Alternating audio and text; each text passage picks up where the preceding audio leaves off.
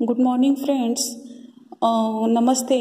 आज आपण बघणार आहोत subject English page number twelve one point seven my name तर बघा नाव म्हणजे ही एक आपली ओळख असते. आपण नावावरून ओळखलं जातो किंवा आवाज देताना आपण नावाचा वापर करतो.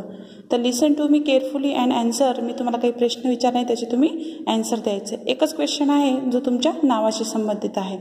तर बघा इथे एकमेकाला भेटल्यावर आपण काय म्हणतो? गुड मॉर्निंग कारण आपण सकाळी भेटलो तर गुड मॉर्निंग म्हणतो. आणि पुढचा प्रश्न व्हॉट्स युअर नेम म्हणजे तुझं नाव काय?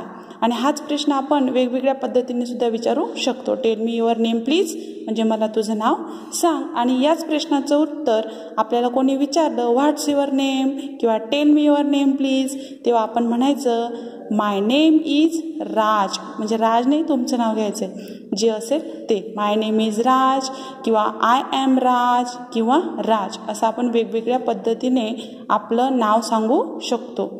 त्यानंतर तुम्ही आज तुमचं पूर्ण नाव फर्स्ट नेम मिडल नेम आणि लास्ट नेम पूर्ण नाव कोणाकडून मम्मी किंवा पप्पांकडून लिहून घ्यायचं आहे आणि ते पुन्हा पुन्हा त्याचा सराव करायचा आहे. नावाची स्पेलिंग तुम्हाला करेक्ट जमली पाहिजे. तर बघा या बोर्डवर अनेक मुलांची नावं दिले सुमित सोहा कपिल स्नेहा राजू सोनल मोहन रेणू जरीन प्रिया रोहन अशी वेगवेगळी नावं आहेत. तुम्हाला जर तुमच्या नावाच्यात लिहिलं तर ते शोधता आलं पाहिजे. केव्हा शोधता येईल? जेव्हा तुमच्या नावाची स्पेलिंग तुम्हाला पाठ असेल नेमची. तर बघा आपण असं एकमेकाला जेव्हा भेटतो तेव्हा आपण तेच कन्व्हर्सेशन करतो की व्हॉट्स इथं बघा राज आणि रिया दोघंजण एकमेकाशी बोलत आहे व्हॉट्स युअर फादर्स नेम म्हणजे वडिलांचं नाव. मग रिया त्याला ॲन्सर देते my father's name is Rajan.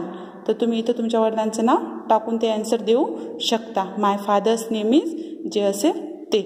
Tell me the name of your school Zilla Parishad primary school आपण आपल्या शाळेचं नाव सांगायचं. My school name is late Mukeshbhai Patel primary school म्हणजे तुम तुम्ही आज तुमचं नाव आईवडिलांचं नाव आणि शाळेचं नाव असं पूर्ण लिहून आणि त्याच्या स्पेलिंग तुम्ही पाठ करायच्या आहेत आणि मला व्हॉट्सअपला पाठवायच्या आहेत.